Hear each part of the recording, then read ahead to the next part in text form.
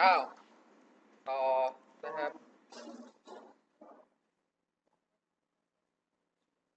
เมื่อ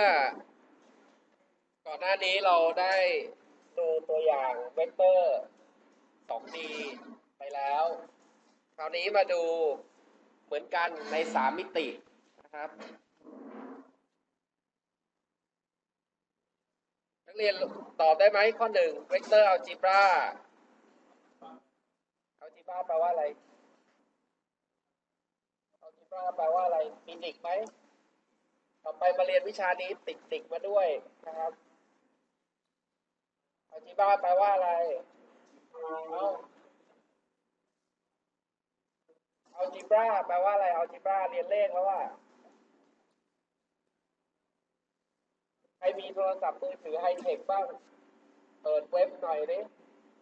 Google Algebra ภาษาไทยอะ เอออะตบมือให้เพื่อนหน่อย กว่าจะได้ แล้วจะไปทำอะไรกินเนี่ย มหาลัยปีสองแล้ว Algebra vector Algebra คือวิชาคณิตเวกเตอร์นะครับ เอาแปโจทย์สิวัดวรวัตร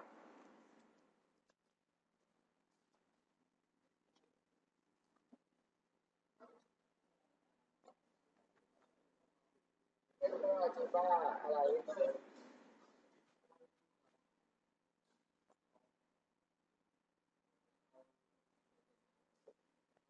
เหมือนที่เรากำลังจะใช้อยู่เนี่ยวิชาคณิตของเวกเตอร์อย่างที่เรากำลังจะทำเนี่ยอิสเบตอนก็คืออยู่บนอะไรอยู่บนพื้นฐานของอะไรจุดจุดจุดจุดระบบ coordinate system อันไหน รู้ไหมมีใครรู้บ้าง ใครตอบ A B C D E ไม่มีอ่าใช้อะไร กดมือขวาข้ออะไร E หรือ E E ลบอ่าเก่งมากนะครับเราใช้กดมือขวา กดมือขวาบอกว่าอะไร X ก็คือนิ้ว ชี้ Y ก็คือนิ้ว กลาง Z คือนิ้วโป้งจำให้แม่น อันนี้ เลยนะครับ กดมือขวา x y z ก็คือชี้กลางโป้ง x y z แล้วสัญลักษณ์อัลฟาเบต้าแกมมาล่ะ คืออะไรรู้ไหม direction angle เอาเรียนมาแล้วเหรอเรียนยัง หรือเดาเอา อฟอเรียนแล้ว อ่า direction angle แล้ววอฟอไปเรียนตอนไหนอะอ๋อเมื่อบ่ายเรียนกับครูคุณโอมานะอ๋อนี่คือมาขอเรียนเสริมเหรออ๋อ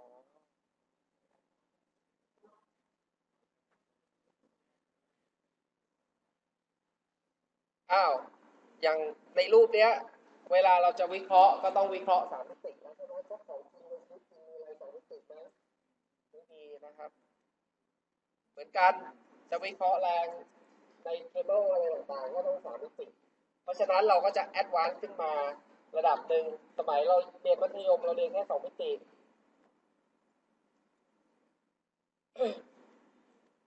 เอออ้าวอย่างที่บอกนะครับ กดมือขวาก็คือจำง่ายๆในรูปมันอาจจะไม่ตรงกันแต่ว่าจำง่ายๆนิ้วชี้คือ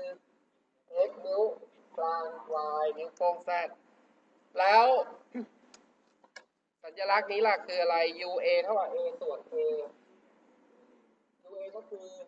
unit vector unit vector คืออะไรนะ vector หนึ่งหน่วยแล้วความหมายมันคืออะไร vector มีอะไร ขนาดกับทิศทางเพราะฉะนั้นเวกเตอร์หนึ่งหน่วยก็คือ ขนาดเท่ากับหนึ่งแล้วก็มีทิศ เพราะฉะนั้นเราจะหาขนาดของเวกเตอร์เท่ากับหนึ่งเราก็เลยเอาอะไร เอาเวกเตอร์มาหารด้วยขนาดของมัน มันก็เลยบอกว่า เอ่อ เอาเวกเตอร์อะไรก็แล้วแต่หารด้วยขนาดของมัน ก็จะได้เป็นอะไร unit vector นะครับ ความหมายก็คืออย่างนี้ อ่า magnitude is วันก็คือขนาดเท่ากันหนึ่ง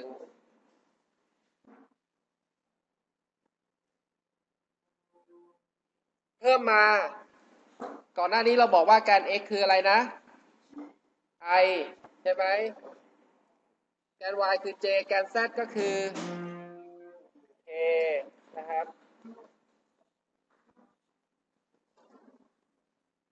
อ้าวคราวนี้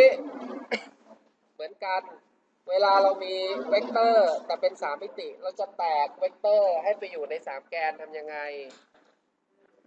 ตอนนี้ให้ดูเฉยๆว่าเราก็เขียนว่าเวกเตอร์ a เท่ากับ ax คูณ i นี่หมายความว่าไง ขนาดของเวกเตอร์ x ในแนวแกนเอ้ยขนาดของเวกเตอร์ a ในแนวแกน x นะครับ ที่เหลือก็เหมือนกัน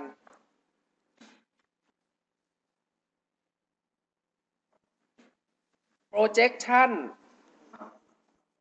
ของ a ไปบน xy plane ก็คือ a a dash ตัวนี้มันคืออะไรล่ะ มันก็คือ ax บวกกำลังสองบวก ay กำลังสองใช่ไหม อันนี้กำลังสองบวกเทอมนี้กำลังสองบวกการถอดรูทก็เลยได้เป็นสมการนี้ หาขนาดของของอะไร ของเส้นนี้ มีใครไม่รู้บ้างว่า ยกกำลังหนึ่งส่วนสองก็คือ square root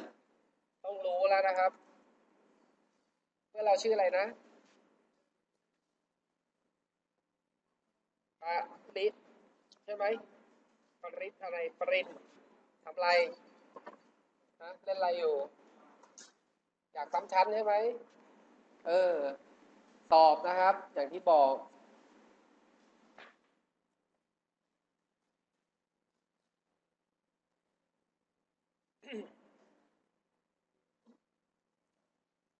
เพราะฉะนั้นเขาก็เลยบอกว่าขนาดของ A เนี่ย มันเท่ากับ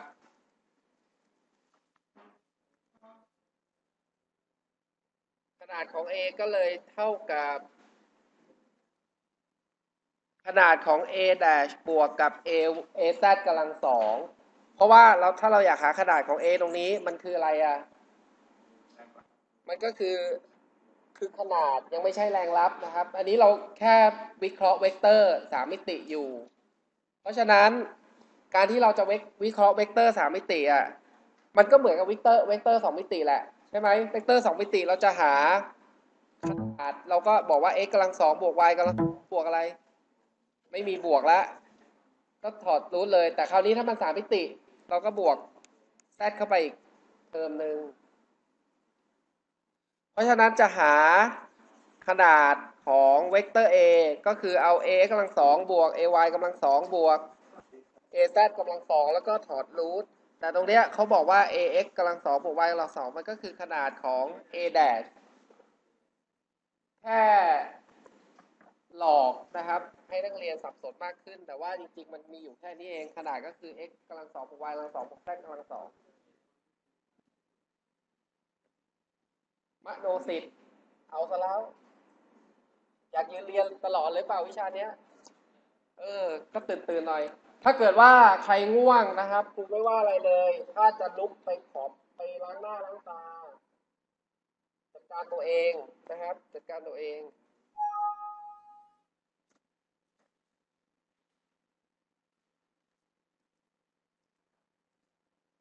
อ้าว direction อย่างที่บอกคราวนี้มันเพิ่มขึ้นมาอีกว่ามีมุมเข้ามาเกี่ยวข้อง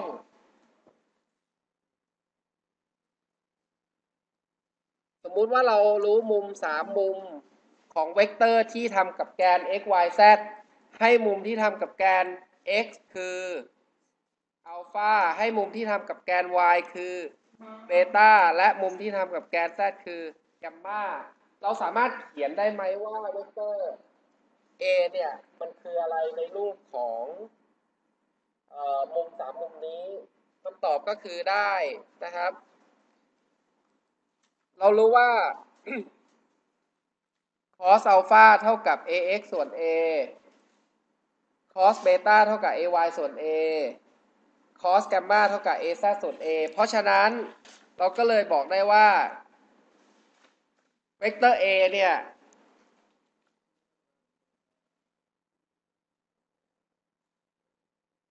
จะเท่ากับเวกเตอร์ a เท่ากับเท่าไหร่ a ก็เท่ากับ ax i บวก ay j บวก az k ทำไมต้องมีสามเหลี่ยมข้างบนนะ เป็น unit vectorนะครับ เพราะฉะนั้นเรารู้ว่า ax เราก็ ดึงมาสิว่า ax มาเท่ากับเท่าไหร่ มันก็คือ a อะไร cos alpha แล้ว ay คืออะไร ก็คือ a cos beta az คืออะไร a cos gamma นะครับ เพราะฉะนั้นเราสามารถถ้าเรารู้มุมก็สามารถเขียนเวกเตอร์ในรูปของ Cartesian coordinate หรือ component form ได้ก็คือเป็น ijk อะถ้าเราอยากหา unit vector ตามแนวแกนของ a ทำยังไง เราก็หารด้วยอะไร หารด้วยขนาดของ a ซึ่งก็เลยสรุปว่า งั้น unit vector ก็คืออะไรอะ ก็คือตัวนี้คืออะไร cos ใช่ไหม sin เอ่อ cos alpha beta กับ gamma เพราะฉะนั้นเราก็เลยบอกว่ายูนิตเวกเตอร์ของ a เนี่ย ก็คือเอา direction cosine มาใช้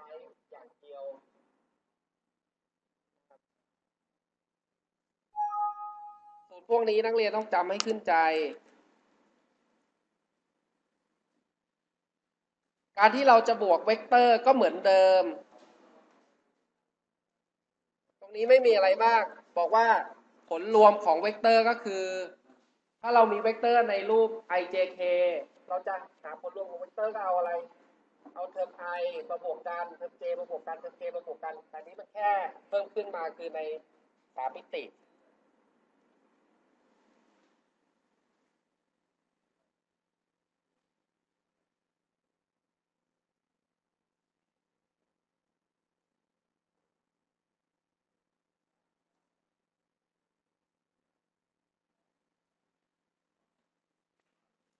ถ้าครูถามว่านักเรียนสามารถแปลงได้ไหมว่าอันเนี้ยเอ่อ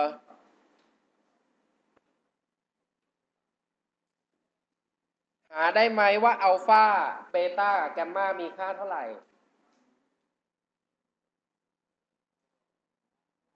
หาได้ทำยังไงอะพี่วัดคอสอัลฟาเท่ากับสิบจริงหรือเปล่า ไม่จริงเพราะ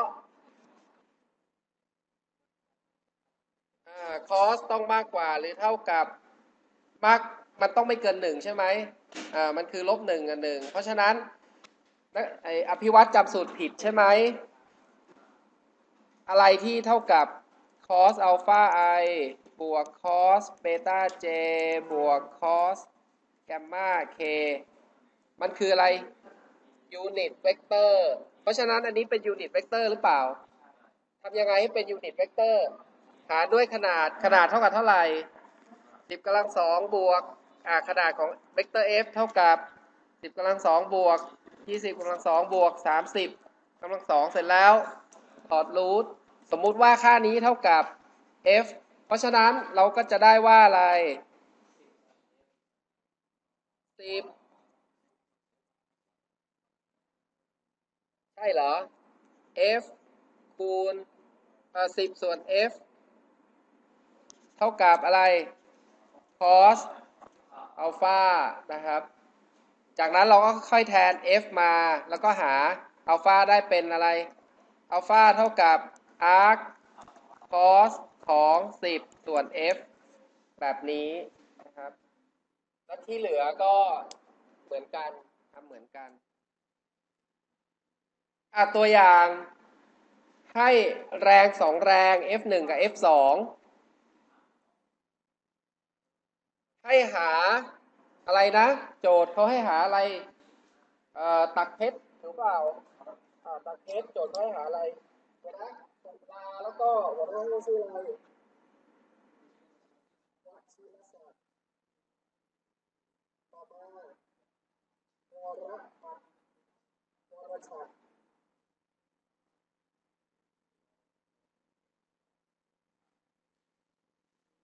มโนเสร็จแล้ว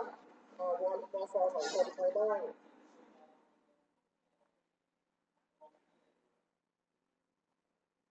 นั่นแหละนั่นแหละเออไม่เป็นไรคือผมอยากชื่อ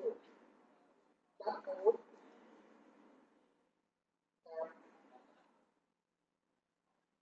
คณะสามอ้าว เอ่อตักเพชรโจทย์ถามว่าอะไร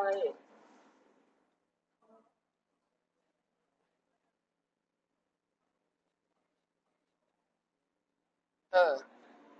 ให้หาแรงรับในรูปของ Cartesian ในรูปของ Cartesian หมายความว่าไงในรูปของ Cartesian ก็คือมีอะไรเติม i j k นะครับ ถ้าถามว่าคาร์ติเชียนก็คือ มี i j k เพราะฉะนั้นสิ่งที่เราต้องทำก็คืออะไรอะ ใช้อะไรอะข้อหนึ่งยุทธพลอยู่ไหมอะยุทธพลสิ่งที่เราต้องทำข้อหนึ่งเขาบอกว่าให้ทำอะไรให้ใช้ geometry คืออะไร geometry geometry คืออะไรอะไรเอรอเรือ เอออะไรนะเอาตรงหน่อยเลขาอะไรเลขาคณิตอะตบมือให้เพื่อนหน่อยเลขาคณิตครับ geometry แล้วตรีโกณ trigonometry คืออะไรอะตรีโกณมิติที่เราเรียกใช่ไหมให้ใช้เลขาคณิตกับตรีโกณมิติ ให้อะไร เขียนแรง F1 กับ F2 ในรูปของ Cartesian เสร็จแล้วให้อะไร ให้เอาแรงสองแรงมา บวกกันนะครับ เพราะฉะนั้นความยากของตรงนี้อยู่ตรงไหน ของการแก้โจทย์นี้ก็คือการเขียนแรงใช่ไหมว่ามันจะไปอยู่ในรูปของ i j k ได้ยังไง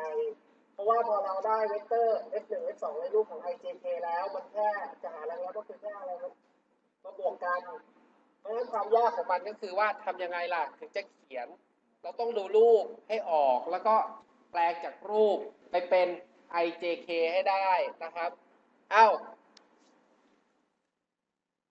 อันแรก ijk สมมุติว่าจุด origin หรือจุดศูนย์กลางมันอยู่ที่ตามรูป ตรงนี้ เพราะฉะนั้น ijk อยู่ที่เอ่อเขาให้อยู่ที่แกนอะไรพอดี z กับ y เพราะฉะนั้นนักเรียนคิดว่าเวกเตอร์ f1 เนี่ย มันน่าจะเป็นอะไรใน i เป็นเท่าไหร่ศูนย์ i บวกอะไร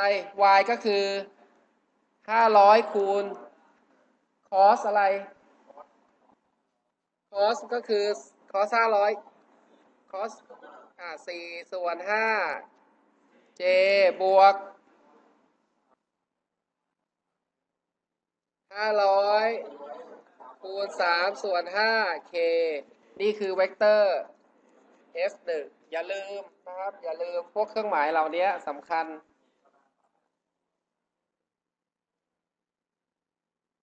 อ่าตามนี้ jk ต่อไป เพราะฉะนั้นนี่ก็คือเวกเตอร์ f1 ในรูปของคาร์ติเชียน มา f2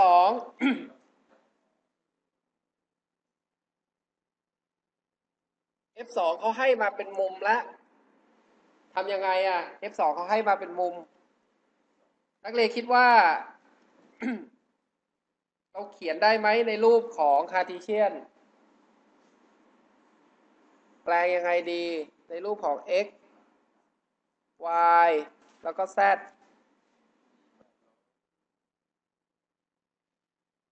เรารู้มุมนี้ อะ เพราะฉะนั้นเอาง่ายๆก่อน แกน z น่าจะได้เท่ากับเท่าไหร่ แกน z ก็คือ 800 อะไรไซน์เท่าไหร่ มันคือด้านนี้ใช่ไหม ถ้ามุมนี้ 45 ถ้ามุมนี้45เพราะฉะนั้นด้านนี้เท่าเท่าไหร่800ไซน์45แล้วตรงนี้เท่าไหร่อเอาสีเขียว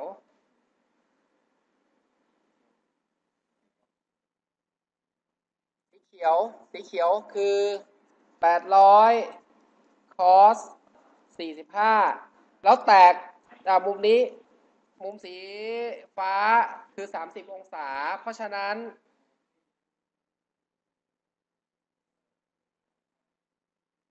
แตกเข้ามาแกน x สีส้ม ได้เท่าไหร่ก็คือแปดร้อยอะไรคอสสี่สิบห้าคูณกับคอสเท่าไหร่สามสิบนะครับ เพราะว่ามุมนี้เท่ากับสามสิบองศามองไม่ชัดแล้วใช่ไหม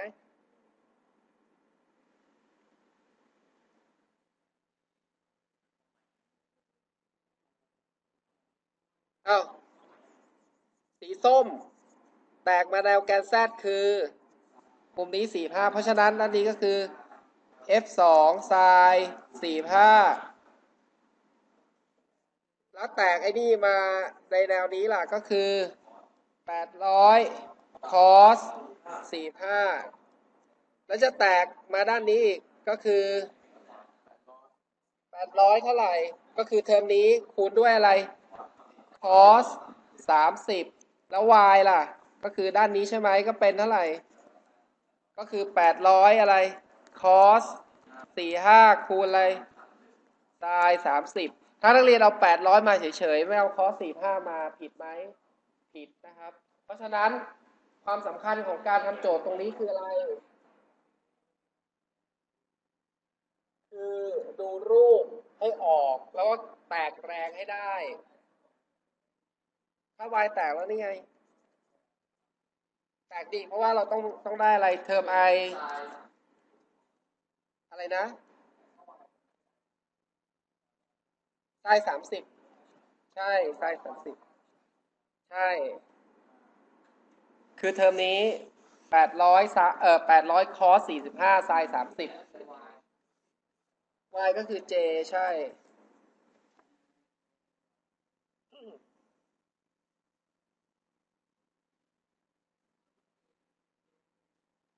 ก็เลยจริงๆก็เลยต้องสรุปว่าอะไร เวกเตอร์ f 2เท่ากับ 800เอ่อไซน์ 45i บวก 800 cos 45 เออ ไม่ใช่สิ 800 cos 45 sin เออ cos cos 30 i บวก 800 cos 45 sin 30 j บวก 800 อะไร sin 45 k ครับ เสร็จแล้ว จะหาแรงรับก็เอาทั้งหมดไปทำอะไรกัน บวกกันตามองค์ประกอบมันก็เอา i บวก i เออ อันนี้ถูกไหมเนี่ย บวกเนี่ย ต้องเป็นลบเพราะแกน z มันชี้ลงนะครับแกนแกนจริงๆ มันชี้ลงแต่เวกเตอร์เออแกนมันชี้ขึ้นเวกเตอร์ชี้ลง เพราะฉะนั้นเราก็ต้องใส่เครื่องหมาย ลบ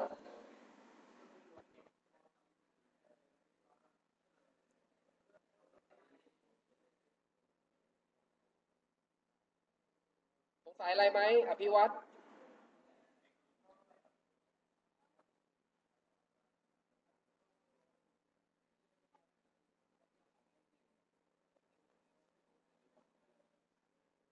f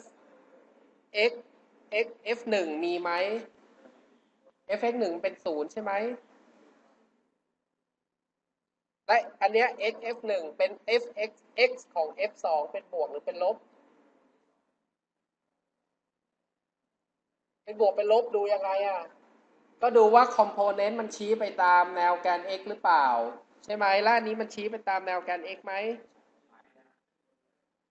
ชี้ไหม เพราะว่าเวกเตอร์คือเวกเตอร์นี้ใช่ไหม ถ้าเราแตกมาในเพลน x y มันก็ได้ตามแนวไหน แนวนี้ แล้วถ้าเราแตกเวกเตอร์นี้มาในแนวแกน x มันต้องชี้ไปทางไหน ชี้ไปทางนี้ ซึ่งมันอยู่แนวเดียวกับอะไร กับ x นะครับ เพราะฉะนั้นมันจะเป็นบวกหรือเป็นลบ บวก ถามว่า x y z เนี่ย เป็นไปตามกฎมือขวาหรือเปล่า ทำยังไงจะเช็คว่ามันเป็นไปตามกฎมือขวาหรือเปล่า ก็ต้องหยิบนิ้วขึ้นมาแล้วก็บอกว่า ถ้านิ้วชี้ไปแนวแกน x นิ้วกลางก็ต้องไปแนวแกน y แล้วนิ้วโป้งก็ต้องชี้ไปตามแนวแกน z แล้วมันเป็นไหมเป็นนะครับเพราะมันเป็นไม่งั้นถึงถูกเวลานักเรียนเขียนแกนนั่งอิงอะ ให้ใช้กดมือขวา เพราะว่าโจทย์เขาจะไม่ให้มา x y z อยู่ตรงไหน นักเรียนต้องกำหนดขึ้นมาเอง เพราะฉะนั้นคนหนึ่งอาจจะแบบกำหนด x ไปทางไหนก็ได้ y ไปทางไหนก็ได้ z ไปทางไหนก็ได้ แต่ผลลัพธ์ของทุกคนจะออกมาเหมือนกัน เพราะทุกคนใช้กดมือขวาเหมือนกันนะครับ ถ้าไม่ใช้กดมือขวาแล้วจะผิดทันทีอ้าวคาดไปนะครับ ที่เหลือก็แค่เอามาบวกกัน ทำตามวิธีที่เราทำเมื่อกี้ อ้าวคำถาม ถ้าอะไร อ้าวเออยุทธพลไปแล้วใช่ไหมไปยังไปแล้วกรกฎคำถามถามว่า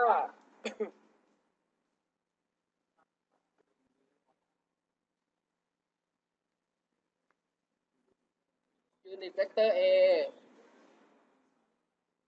คุณจะสามารถหาจุดๆของเวกเตอร์ A ได้ uniquely ก็คืออะไร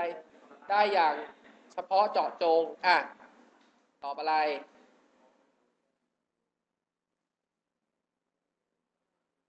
ถ้าเรารู้ unit vector เราจะรู้อะไร ใครว่า A ยกมือ แมกนิจูดแปลว่าอะไรนะกระดาษใครว่า B ยกมือ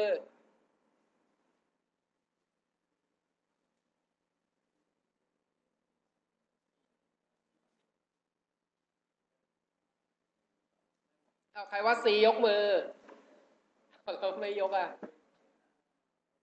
ใครว่า D ยกมือ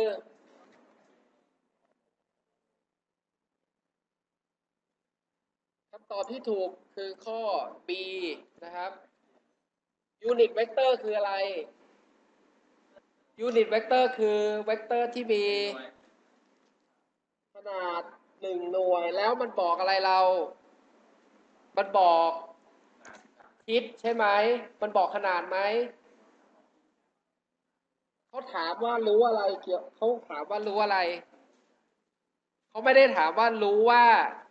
ถ้าคุณรู้ยูนิตเวกเตอร์ A คุณจะสามารถกำหนดหรือรู้อะไรเกี่ยวกับเวกเตอร์ A ได้อย่างชัดเจน เขาไม่ได้บอกว่าคุณจะบอกอะไรเกี่ยวกับยูนิตเวกเตอร์ A ไม่ใช่ เพราะฉะนั้นสมมุติถ้านักเรียนมีเวกเตอร์สีแดง เรียกว่า F1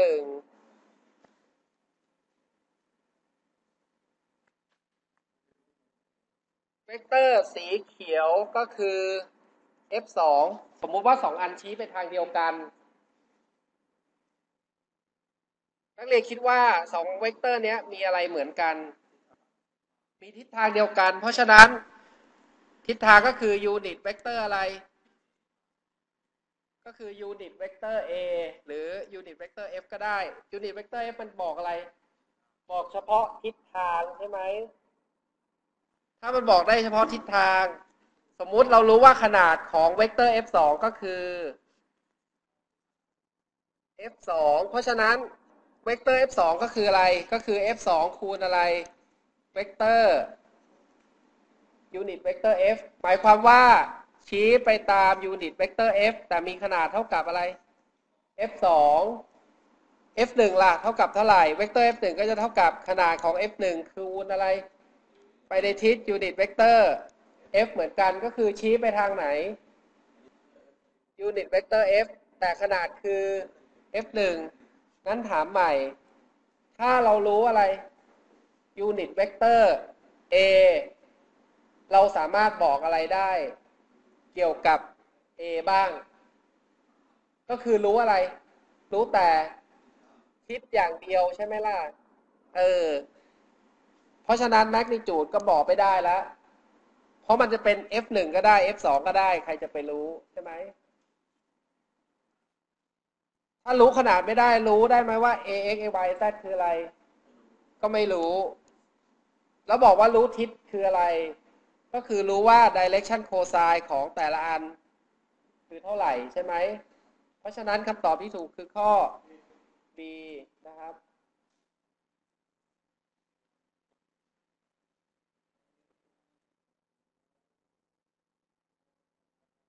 เอาข้อสอง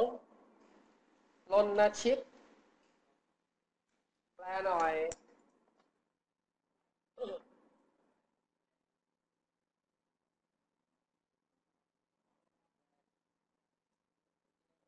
สำหรับเวกเตอร์แรงยังไงต่อพารามิเตอร์แปลว่าอะไร อะไรนะพารามิเตอร์มันก็ทับศัพท์ภาษาไทยอยู่แล้วไม่ใช่เหรอพารามิเตอร์เคยได้ยินไหมพารามิเตอร์ก็แปลว่าอะไรอะ ก็แปลว่าพารามิเตอร์ก็ค่ากำหนดให้พารามิเตอร์ เราไม่พูดกันเหรอ ไม่เคยได้ยินเหรอพารามิเตอร์คือเหมือนเป็นค่า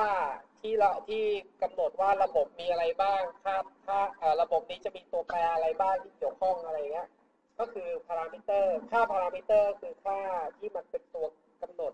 คุณลักษณะของระบบหรืออะไรพวกเนี้ยอ้าวตัวนาชิตต่อ บอกว่า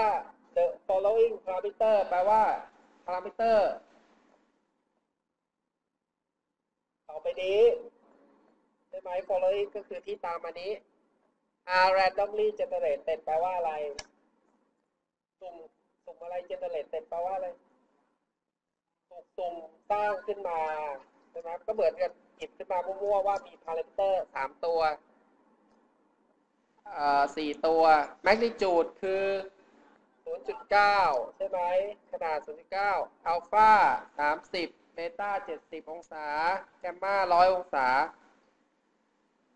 what's wrong แปลว่าอะไร อะไรผิดเกี่ยวกับเวกเตอร์นี้อ้าวบอกได้ไหม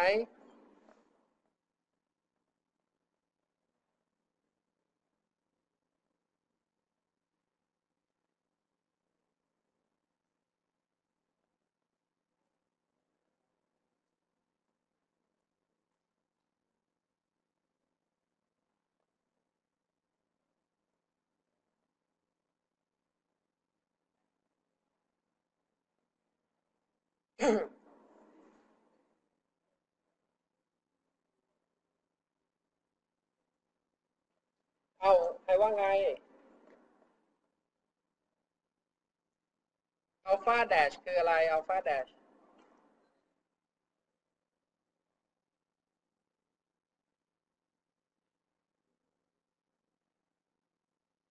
อย่างน้อยคืออะไรเงื่อนไขที่จะต้องเป็นเกี่ยวกับอัลฟาเบต้าแกมมากติกาคืออะไร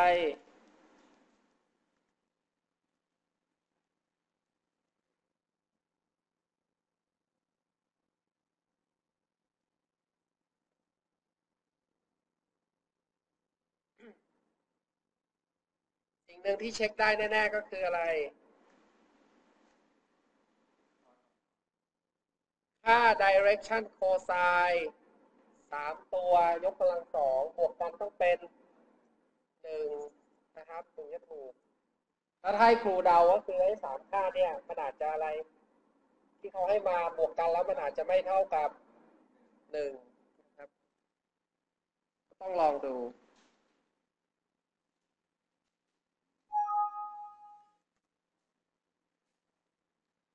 อย่างที่บอกเงื่อนไขสำคัญ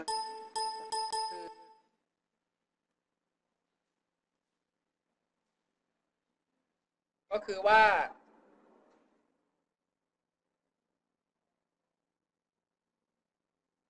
cos อัลฟา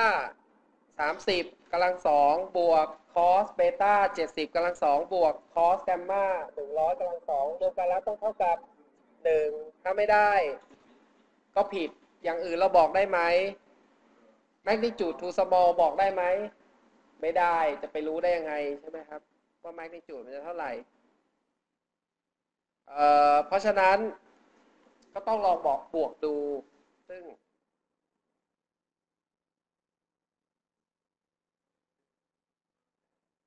อะไรนะอัลฟาแดด ขียนอัลฟาก็พอครูไม่รู้ทำไมเขาต้องเขียนอัลฟาแดดเอ่อ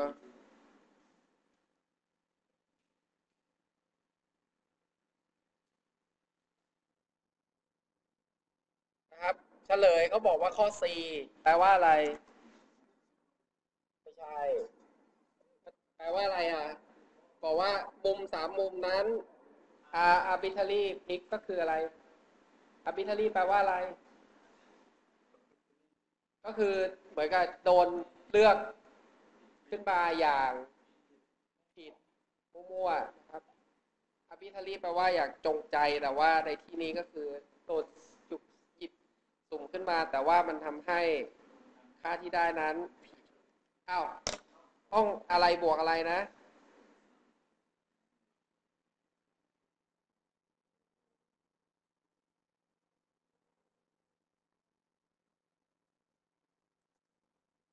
คอสเท่าไหร่บวกเท่าไหร่สามสิบเจ็ดสิบร้อยใช่ไหม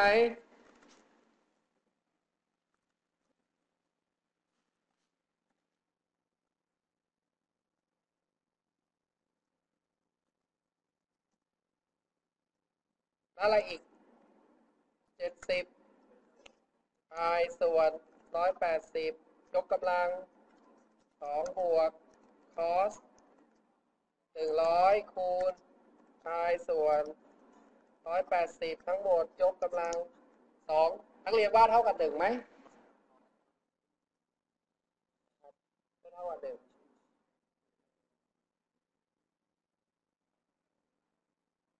เพราะว่าอะไรเพราะว่าคอสเราเวลาเราป้อนอินพุตต้องเป็นอะไรในที่นี้ เป็นเรเดียนครับ เห็น ไหมเขาบอกว่าอะไร input เป็นอะไร cosine of argument in radian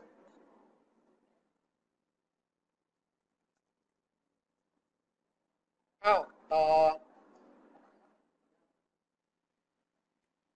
ตรงไหนตรงเนี้ยเหรอ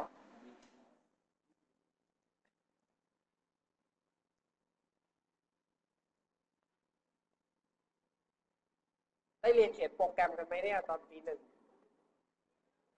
ขียนอะไร ภาษา C ใครสอน ใครนะ อาจารย์กบเป็นใครอะ ชื่อจริงชื่ออะไรยศอะไรดนตรี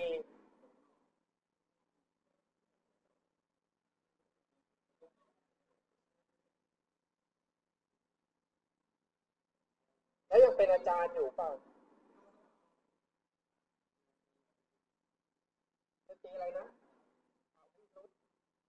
ที่นักการเรียนไม่จบเหรอหรืออ๋อเรียนไม่จบไปนาโปลิสแล้วกลับมาเรียนต่อที่ประเทศไทย แล้วก็มาสอนภาษาซีเราเหรอแล้วแกเป็นทหารนายทหารกรมหรือว่านายทหารสายษาเนี่ย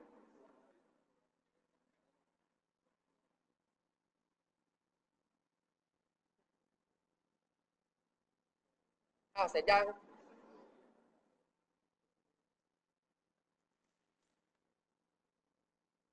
อ่าโจทย์ถามว่าอะไร ต่อไปใครเนี่ย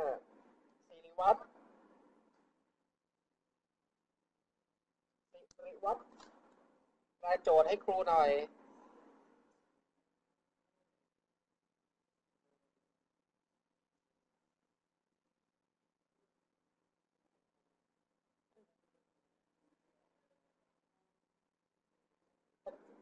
รูของรูเจาะรูไขควงหรืออะไรก็ได้ใช่ไหมไม่มีใครว่าหรอก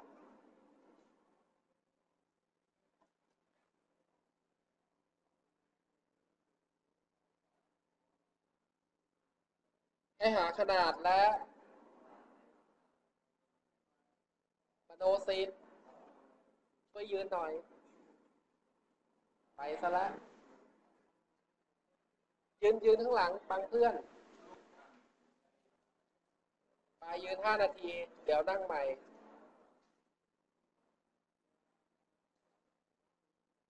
เอ้าแปลแปลใหม่ให้หาขนาดแล้ว อุ้ย แล้ว coordinate direction angle มันหายไปไหนอะ ก็คือให้หาขนาดและ ทับศัพท์ไปเลยก็ได้ก็คือให้หา direction angle ก็คือมุม direction ก็ไอ alpha beta gamma แหละนะครับชื่ออย่างเป็นทางการคือ coordinate direction angle มันคือชื่ออย่างเป็นทางการของ alpha beta gamma จำไว้เวลาคำถามถามจะได้ตอบได้ รู้ว่าให้หาอะไร ให้หา alpha beta gamma ของอะไร ของแรงรับ อ้าวทำยังไง สเต็ปก็คือ เขียนแรงในรูปของคาร์ติเชียนใช่ไหมเสร็จแล้วก็เอามารวมกันแล้วค่อยไปหาอะไร ไปหาขนาดแล้วก็มุมอัลฟาเบต้าแกมมานะครับแรง F1 เขียนในรูปคาร์ติเชียนได้ว่าอะไร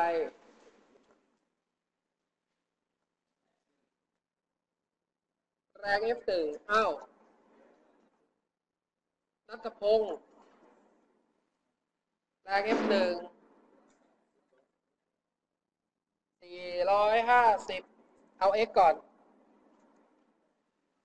เอ่อ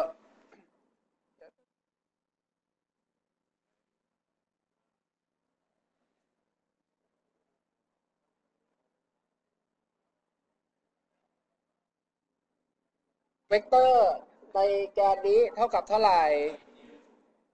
f หนึ่งอะไร cos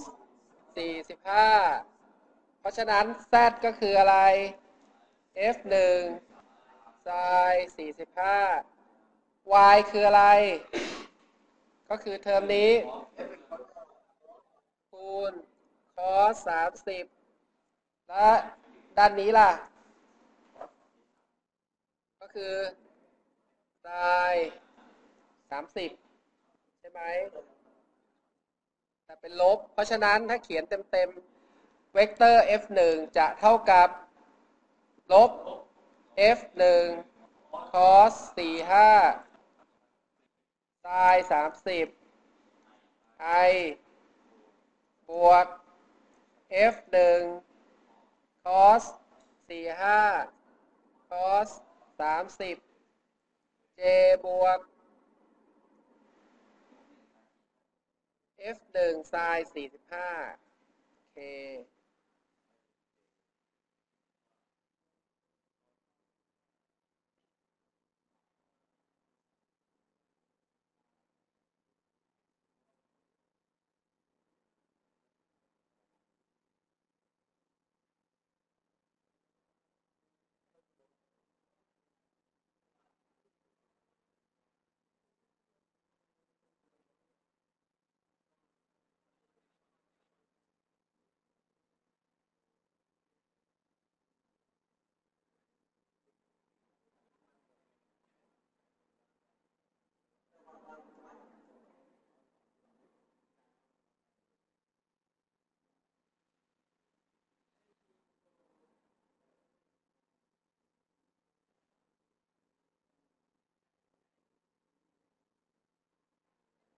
อ้าว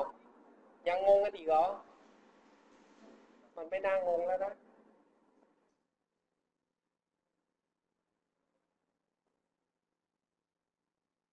มันก็แตกแรงธรรมดานะ F2 ล่ะ จะแตกแรง F2 ยังไง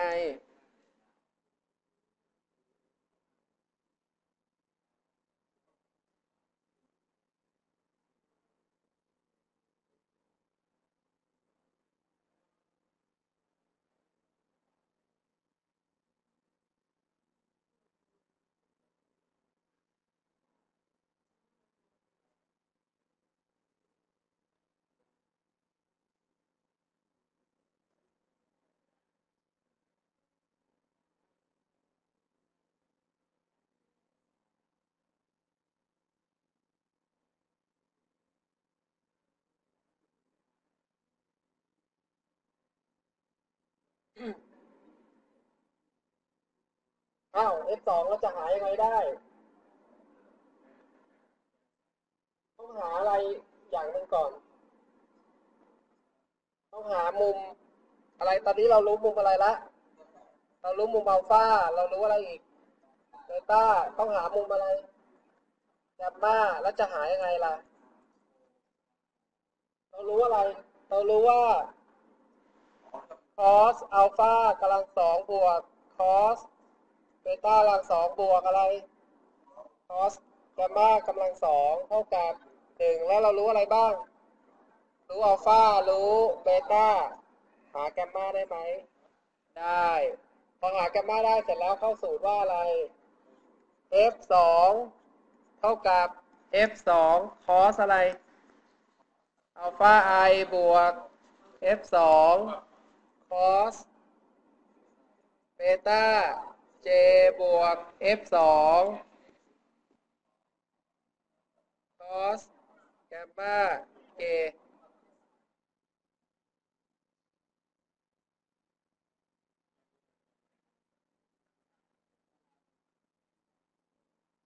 แกน x กับแกน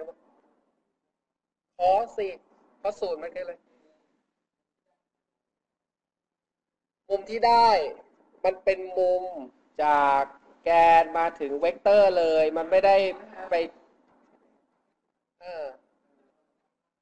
มุมแกมมามันก็ต้องเทียบกับอะไร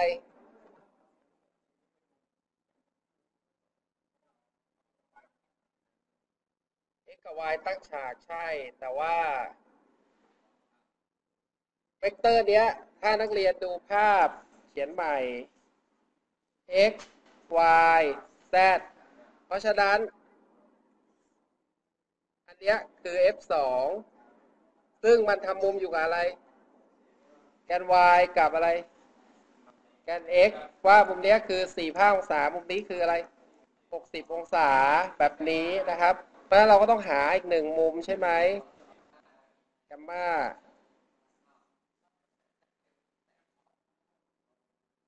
ก็ติดลบ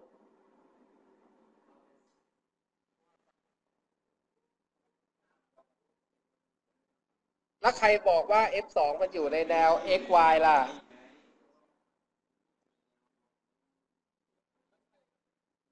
เออใช่ไหม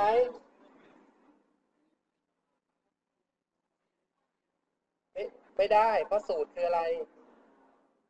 สูตรคืออะไร สูตรมันคือ cos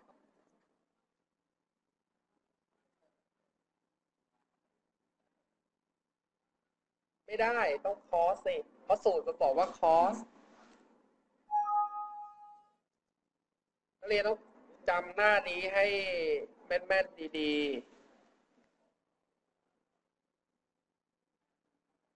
ๆ เออ เพราะฉะนั้นมันจะเป็นทรายไปได้ยังไงอะ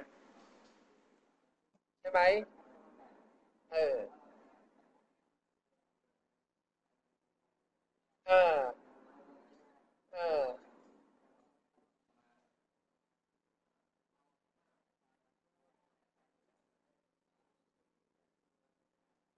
เพราะเอาจ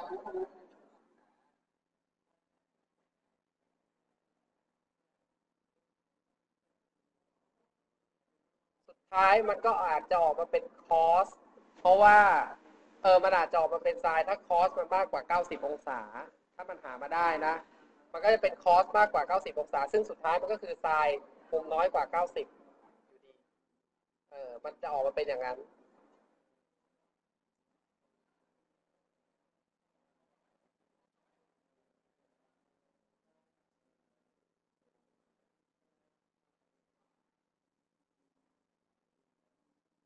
้าวนะครับ ก็อย่างที่บอกเนี่ยพอหามาโดยใช้สูตร ก็จะได้แกมมาเท่ากับเท่าไหร่ร้อยยี่สิบก็แทนค่าเข้าไปว่าคอสร้อยยี่สิบซึ่งมันก็คือไซน์เท่าไหร่อะไซน์หกสิบนะครับ แต่นักเรียนต้องใช้สูตรนี้ก่อน ไม่งั้นผิด เพราะว่าสูตรบอกว่า cos อัลฟากำลังสองบวกคอสเบต้ากำลังสองบวกcos แกมมากำลังสองเท่ากับหนึ่งแล้วอะไรก็แล้วแต่ที่ได้มาจากสูตรนี้ไปแทนมันก็คือ f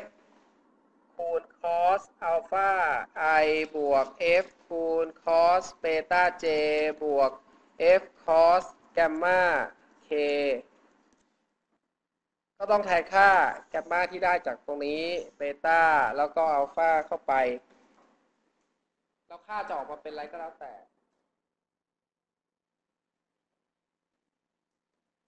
ซึ่งจากตัวอย่างนี้ก็คือ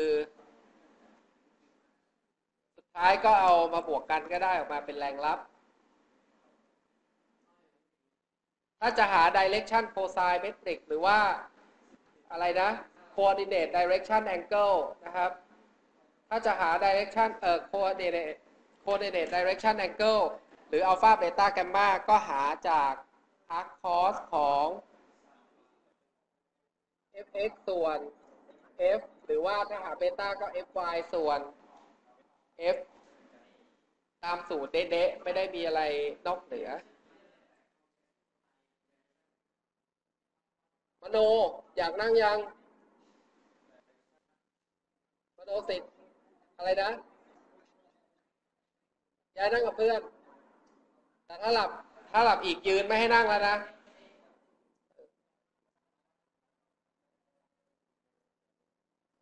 เอาคำถาม อะไรไม่ เอาเออ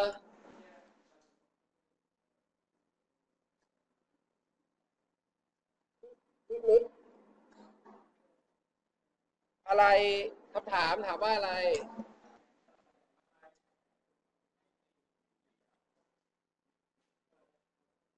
อ่าใครตอบข้อ A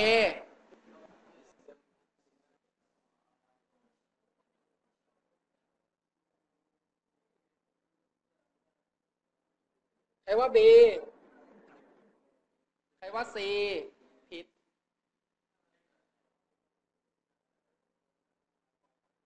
ใครว่า D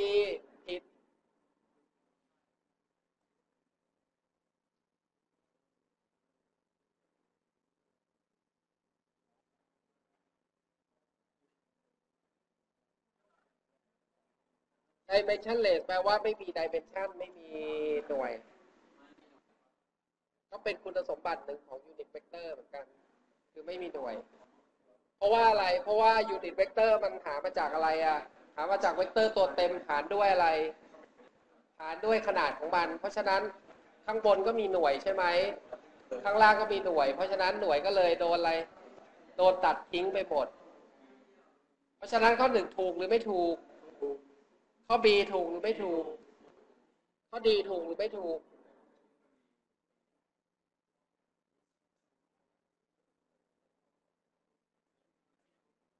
axis แปลว่าอะไร แกน ข้อ C บอกว่าอะไร มันจะชี้อะไร ชี้ไปในทิศของอะไร แกน x เสมอ ถูกไหมล่ะ unit vector จะ ตามนิยาม unit vector ชี้ไปทางแกน x เสมอไหมแล้วชี้ไปทางไหน ก็แล้วแต่ใช่ไหมว่าเป็นทิศของเวกเตอร์อะไร มันก็ชี้ไปทางเวกเตอร์นั้นแต่ว่าข้อ C ผิดก็คือคำตอบ ตอบข้อ C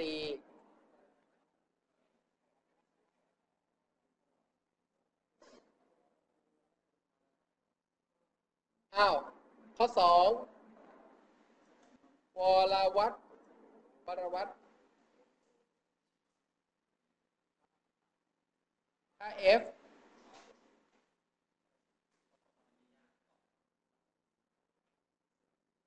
อ่า F และ G ให้ตามที่กำหนด F บวก G เท่ากับเท่าไหร่ ตอบสิ เออคำตอบคืออะไรสามสิบสามสิบ สามสิบต่อพ่อดีด็อก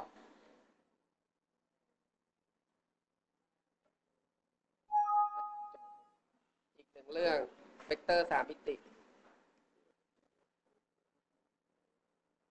ต่อไป position vector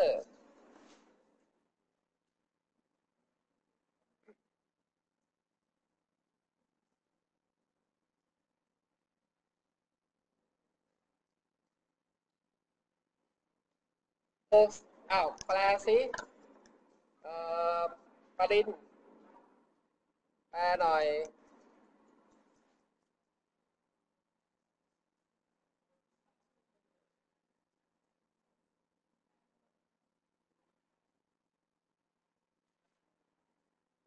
define แปลว่าอะไร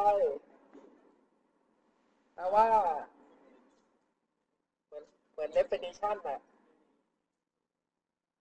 นั้นมันอะไร define แปลว่า นิยามหรือว่ากำหนด เออ position vector ก็คือ ถูกให้นิยาม as อะอะไร fix vector ก็คือ vector ที่ fix ที่ ที่อะไร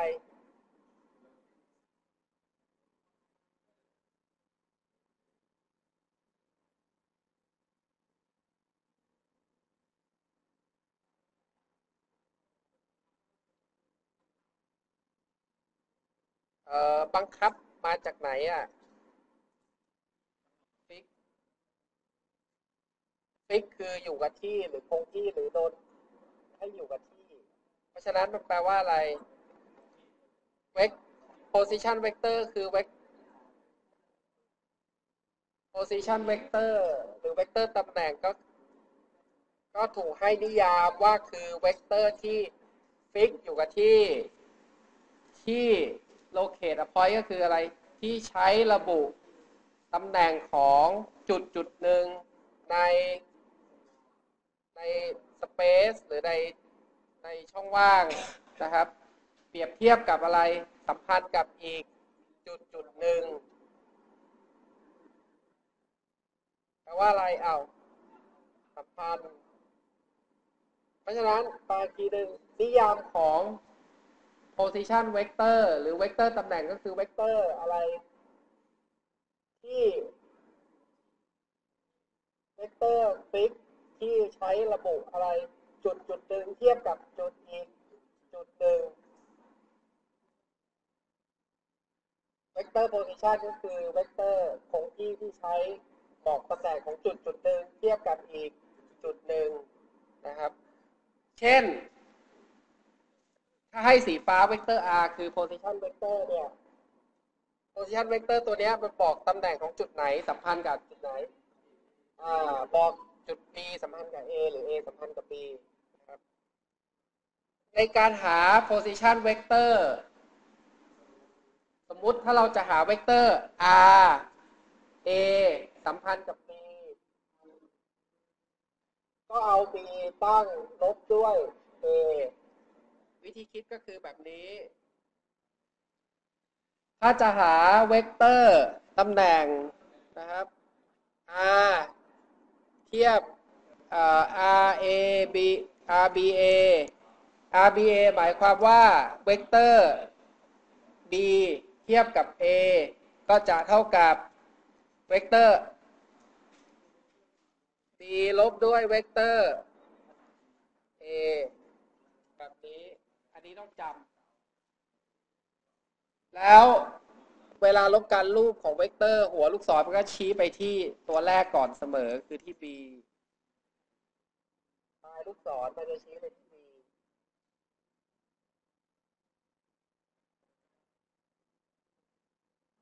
ไกลลบใกล้ก็ได้ หรือ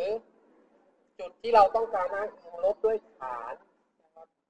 ตอนนี้เราใช้ A เป็นฐาน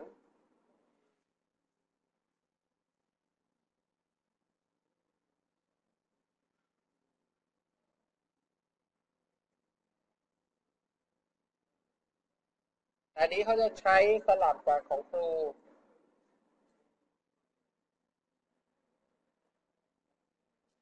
เดี๋ยวเดี๋ยวจะแก้ตรงนี้นะครับเป็น B A ซะเวกเตอร์ B เทียบกับ A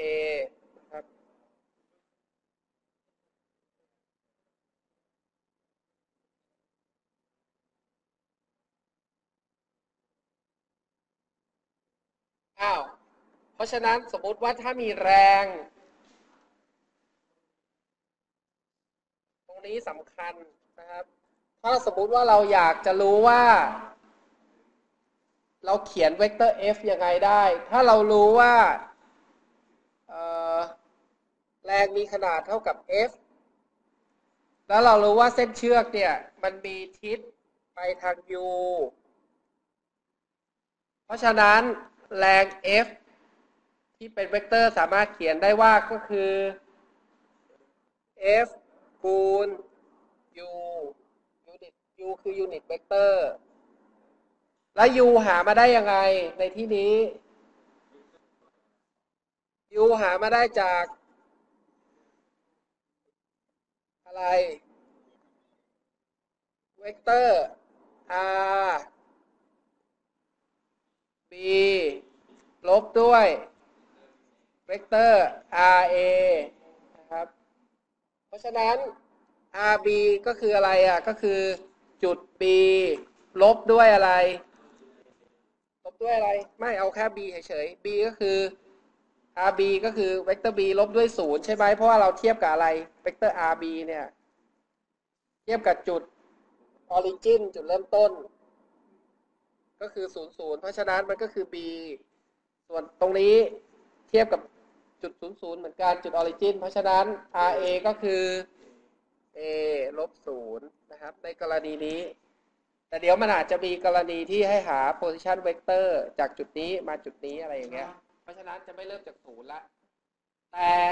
พื้นฐานสำคัญที่นักเรียนจะต้องรู้ก็คือว่า เราทำอะไรบ้างเนี่ย เราจะหาเวกเตอร์ ก็ต้องรู้ขนาดและทิศทางและทิศทางในกรณีนี้เราหามาจากอะไร หามาจาก position vector ใช่ไหม RB ลบ RA เสร็จแล้วต้องหารด้วยอะไรอีก อย่าลืมขนาดของอะไร RB ลบ RA ด้วยนะครับ เพราะว่าอันนี้มันก็จะได้ออกมาเป็นเวกเตอร์หนึ่งแต่ แต่ขนาดมันอาจจะไม่เป็น unit ก็ได้นะครับ เพราะฉะนั้นทำให้มันเป็น unit vector นักเรียนก็ต้องหารด้วยอะไร ขนาดของมันอะตัวอย่างตัวตัวอย่างเลยเขาบอกว่าอะไร แรง 40 เออ420 นิวตัน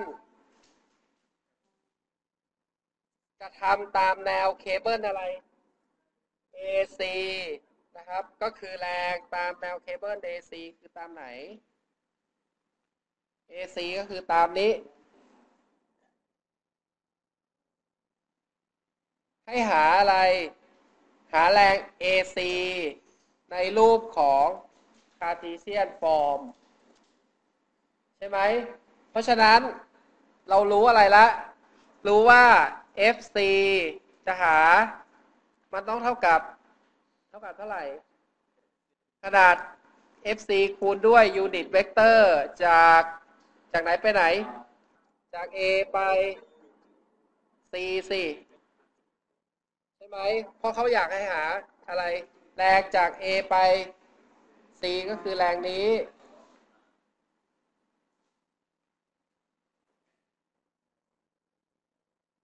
เพราะฉะนั้นเราอยากจะหา อยากจะเขียนเวกเตอร์แรง F ที่กระทำในแนวเคเบิล AC เราก็ต้องหารู้ต้องรู้ขนาดของแรง และรู้ทิศตามแนวเคเบิลอ้าว FC เท่ากับเท่าไหร่ 420 หน่วย นิวตัน แล้ว UAC ล่ะ คืออะไร หามาจากอะไร R C ลบ RA หารด้วยอะไร ขนาดของ RC ลบ RA RC คืออะไรเขียนเป็นจุดก่อน RC คือ x เป็นเท่าไหร่2 y คือ3 z คือ0 RA ล่ะ คืออะไรศูนย์ศูนย์หกเพราะฉะนั้นเวกเตอร์ rc เอ่อเวกเตอร์จาก position vector r ac position vector r จาก a ไป c ก็จะได้ก็คือ r จาก a ไป c นะครับให้จำอย่างนี้ว่าจาก a ไป c ก็ต้องเอา c ตั้งลบด้วย a ก็คือ rc ลบ ra คราวนี้ครูไม่เขียน ijk แต่ว่าจะใช้ตัวนี้ลบ เพราะฉะนั้นมันก็คืออะไร ลบ 2 ลบ 3 กับ 6 ใช่ไหม เอาตัวนี้ตั้ง ลบด้วยตัวนี้ ให้จำใหม่ว่าถ้าจาก a ไป c ใช่ไหมเราอยากจะหาเวกเตอร์ทิศตามนี้ ก็ต้องเอาปลายลูกศรตั้งลบด้วย ท้ายลูกศร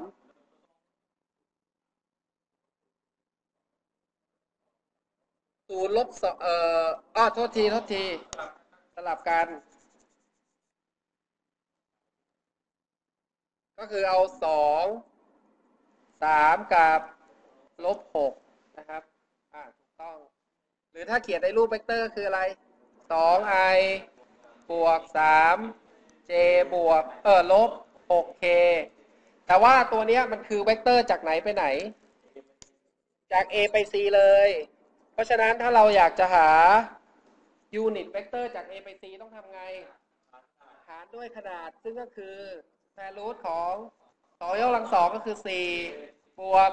9บวกบวก36ได้เท่ากับเท่าไหร่ผมไม่รู้นะ ไม่ได้คำนวณ ก็เพราะฉะนั้น unit vector จาก a ไป c ก็จะเท่ากับ 2 ส่วน 7 i บวก 3 ส่วน 7 j บวกลบ 6 ส่วน 7 แล้วจะหาเวกเตอร์ fc เนี่ย ได้ยัง ได้แล้วก็โดยการเอา 420 เข้ามาคูณ ทั้งหมดเป็น 420 นิวตันนะครับ ก็จะได้ว่าเป็นเวกเตอร์ f c เอ่อ Fc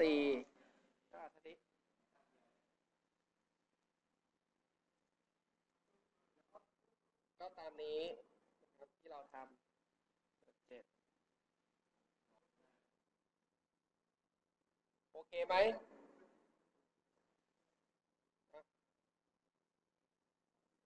แต่ว่าที่ครูเขียนก็หายไปแล้วล่ะ อะไรนะ ยังไม่ เดี๋ยวมันจะมีมันเอาไว้หลอกหรือไม่ก็เอาไว้ทำให้ทำเพิ่ม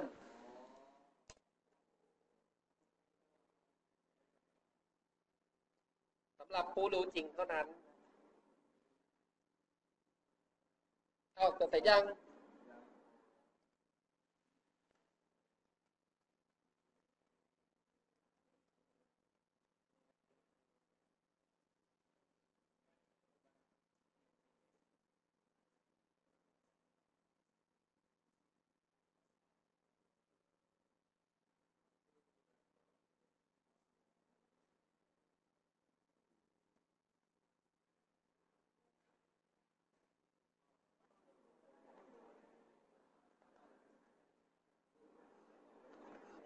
อ้าวเสร็จไหม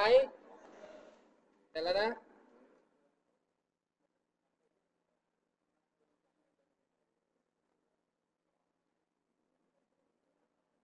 อ้าวข้อหนึ่งสามคนแปลหน่อยมลวัตไปแล้วใช่ไหมสามคน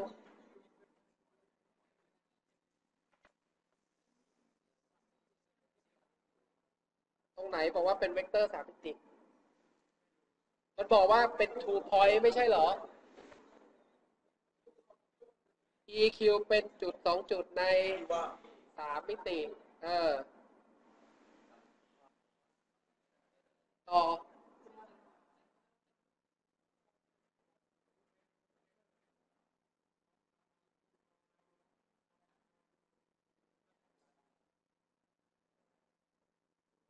ไม่เหรอเขาถามว่าอะไรเขาถามว่าเวกเตอร์ rpq กับเวกเตอร์ rqp นั้น สัมพันธ์กันอย่างไรนะครับ ถ้าจะแย่แน่เว้ย การพลนี่ตำรวจน้ำหรือฐานเรือโอ้โหคู่มือในเรือนี่มีภาษาไทยไหมเนี่ย มีเหรอ ที่ใช้ได้ใช้ได้อะเวลาจ่าในเรือมาถามช่างพลครับ ช่วยผมแปลหน่อยเนี่ยคู่มือดูแลรักษาเรือเนี่ย แล้วช่างพลเนี่ยทำไงอะฮะเอาคิดดีๆนะจบไปอะติดเรือตีหรือจะติดพันจ่าตรี อยากจะให้พันจ่าเขาเคารพนับถือ หรืออยากให้พันจ่าเขาดูถูก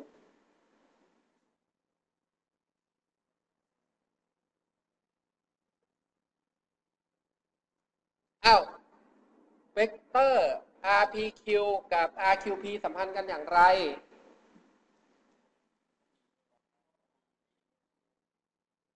ข้อ B นะครับ มันทิศตรงข้ามกัน เพราะฉะนั้นมันก็คือสดกลับ เออ คือลบกัน ข้อสองล่ะ ต่อไปใครเนี่ย ฐานัน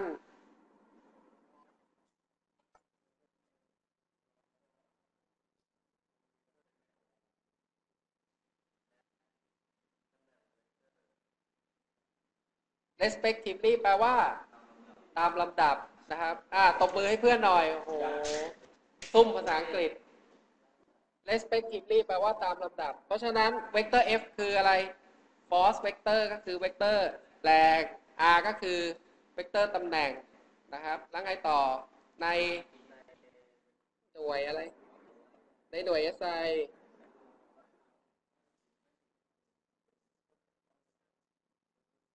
อะไรคือหน่วยของ expression แปลว่าอะไรดี ก็คือของ เทอมที่เขียนเนี่ยอ่าอ่าแล้วนักเรียนคิดว่าอะไร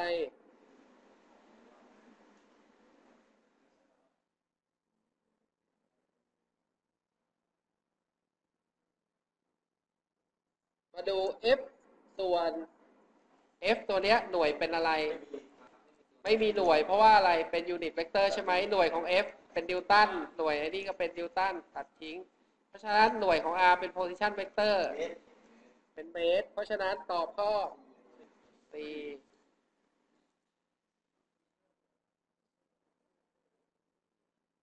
เข้าอีกหนึ่งตัวอย่าง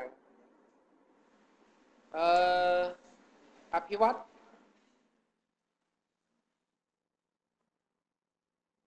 ภิวัตแปลโจทย์ แปลโจทย์อ่าดีมาก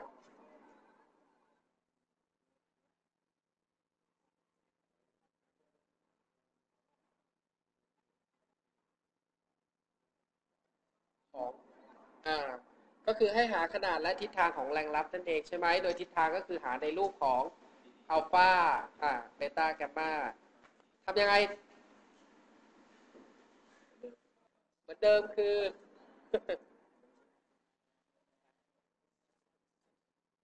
ใช้ position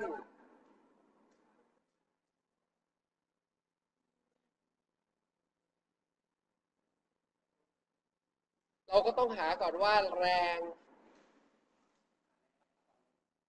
หาแรง F อะไร F1 F1 ก็คือขนาดแรง F1 คูณด้วยเวก unit vector ในทิศของ จาก C ไป A แรง F2 เวกเตอร์ F2 ก็คือขนาดแรง F2 คูณกับ จาก C ไป B F1 เท่ากับ100ปอนด์เอ่อ U นิดเวกเตอร์จาก C ไป A ก็คืออะเดี๋ยวเขียนเอา C จุด C คืออะไรก่อน0 0 4ฟุตจุด A คือ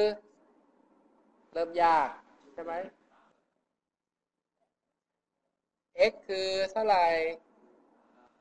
ลบอะไรสามสิบไซน์เท่าไหร่สี่สิบใช่ไหม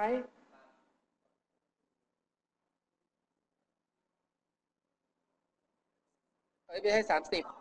สามเฉยๆลบสามไซน์สี่สิบแล้ว y ล่ะ คืออะไร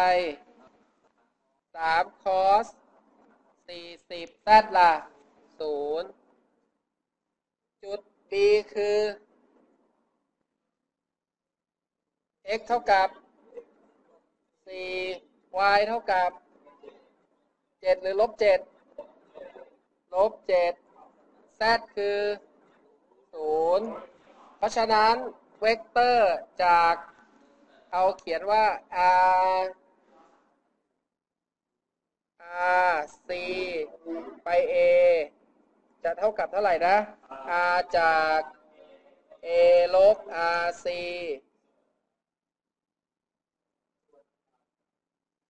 ส่วนขนาด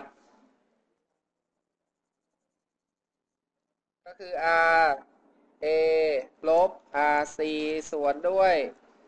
ขนาดของ r a ลบ r c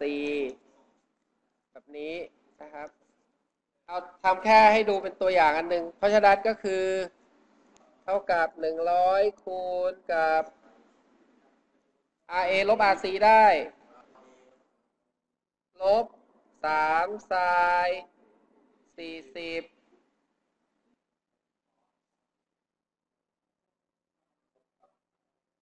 สามซาเอ่อคอสี่สิบลบศูนย์แล้วก็ศูนย์ลบสี่ ทั้งหมดหารด้วย เทอมนี้กำลังสองบวกเทอมนี้กำลังสองบวกด้วย เทอมนี้กำลังสองถอดรูทนะครับแล้วก็หามาได้เป็น f1 f2 ก็ทำเหมือนกัน เสร็จแล้วก็อะไร เอามาบวกกัน บวกกันเสร็จจะหาแมกนิจูดทำไง ก็หาสแควร์รูทของแต่ละคอมโพเนนต์ของผลลัพธ์อ่า แล้วจะหา coordinate direction angle ทำยังไง ขนาดของแต่ละ ตัว x y z หารด้วยอะไร ขนาดของแรงรับทั้งหมดนะครับ ก็ตามนี้ถ้ FCA FCB มา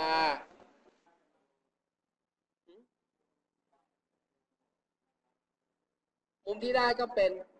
coordinate direction angle ของแรงรับสิ ก็คืออัลฟาแกมมาเบต้าของแรงรับแบบนี้นะครับ เอามารวมกันรวมกันเสร็จหาขนาดตามสูตรนี้ แต่แล้วมุมก็หาได้ตามนี้ อะไรนะ แรงรับเหรอ แรงรับก็ต้องพุ่งจากตรงนี้สิจุดสี่เพราะว่าแรงมันกระทำอยู่ที่ไหนอะตอนเนี้ย จุดสี่แต่ทิศก็ต้องดูเอาเองว่ามัน แต่ถ้านักเรียนอยากจะดูง่าย ๆ ก็เขียนในรูปของอะไรง่ายกว่าคาร์ติเชียนใช่ไหม i j k ถูกไหม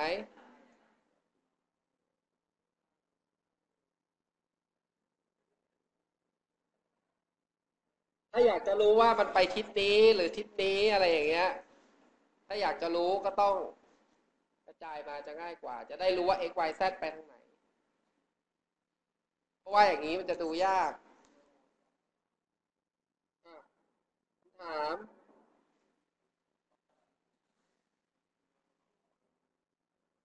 ใครเหลือตุลา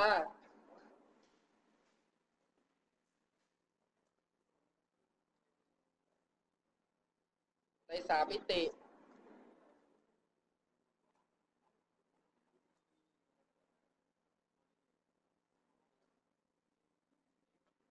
ก็คือบอกว่าอะไรเนี่ย ตุลาไปยังมีจุดสองจุดในสามมิติ มีโคดิเนต p คือหนึ่งสองสามและ q ก็คือสี่ห้าหกถามว่า position vector rqp คืออะไร ก็คือเอาจุด p ลบ q นะครับ เอา p ลบ q p ลบ q ได้เท่าไหร่อะ ลบสามลบสามลบสามข้อ B ข้อต่อไป cos vector f เอ่อวชิรศักดิ์เวกเตอร์แรง f ชี้ไปตามแนวลายเส้นอะไร dq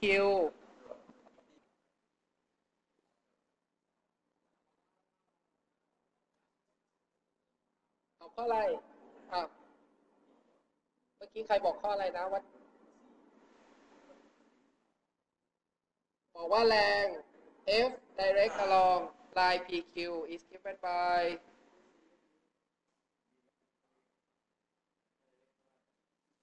ชี้ไปตามแนว เส้น PQ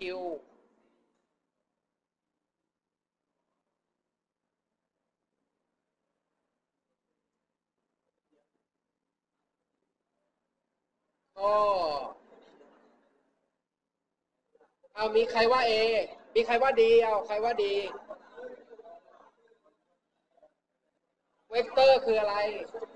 เวกเตอร์คือตัวหนาหรือตัวบาง เวกเตอร์คือตัวหนาสิ ถ้าเวกเตอร์ตัวหนา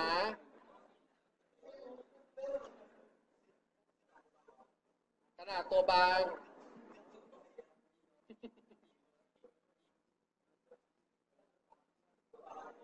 ตัวหนาคือเวกเตอร์นะครับ เพราะฉะนั้นต้องตอบข้อ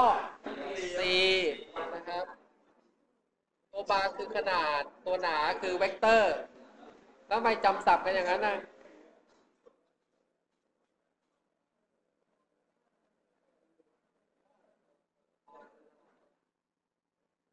ตัวหนาคือขนาดตัวที่มีอะไรพิเศษอะคือ เอ้ยตัวที่มีอะไรพิเศษตัวหนาคือเวกเตอร์ เพราะว่าเราเวลาเราเขียนเราเขียนตัวหนาได้ไหม ไม่ได้เราถึงต้องใส่อะไร เส้นขีดบอกว่ามันคือเวกเตอร์แทนคำตัวหนา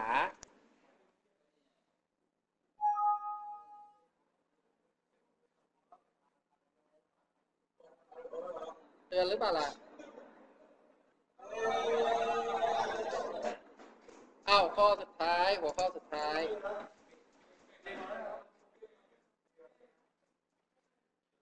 สิบหน้าเองสิบเจ็ดหน้าอ่าเบรกเบรกเบรก